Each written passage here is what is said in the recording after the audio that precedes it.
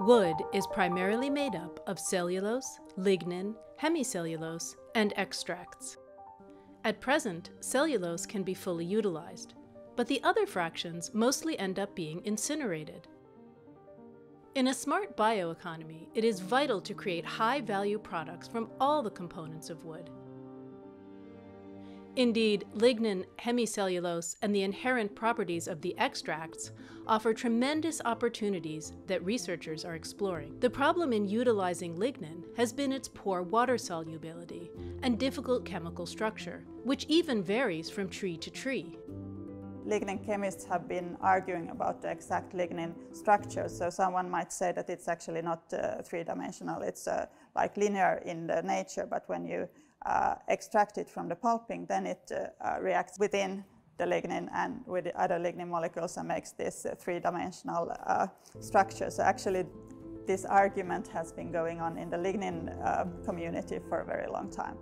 So I, I, think that if you can't even agree on the, on the structure, that might be one reason why it's difficult to utilize. Professor Monica Österberg has developed an ingenious way to bypass this problem Using a simple method, she is able to reform lignin from irregular shapes into spherical particles.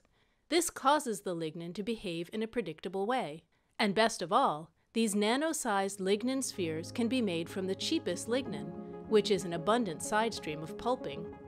Using this kraft lignin that is most available, so it's a cheap raw material, and then we can just dissolve it in an organic solvent and then when we put it into an anti-solvent, the water, they spontaneously self-assemble into the spherical particles. Self-assembly thus creates perfectly shaped spherical particles. They are all perfect spheres. That's how nature wants it. It's the lowest energy form. I mean, if you go to nature, you're not going to find uh, squares or stars. Uh, it's the the sphere is the minimizing the surface area very simply. So that, that's the form. That's why water droplets are also spherical and not square. Nanomaterials are usually very expensive to produce. However, these nanospheres are surprisingly cheap and easy to make. The process is very uh, cheap. So when we have calculated on the uh, cost of the process, I think we are below one euro per kilo. So, and that's uh, a lot of the cost comes from the lignin. So uh, the process is actually just dissolving lignin and then precipitating it in, in water.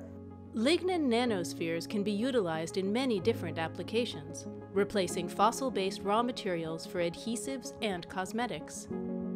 As a coating, nanolignin forms a breathable, water-repellent, and decay-resistant wood preservative.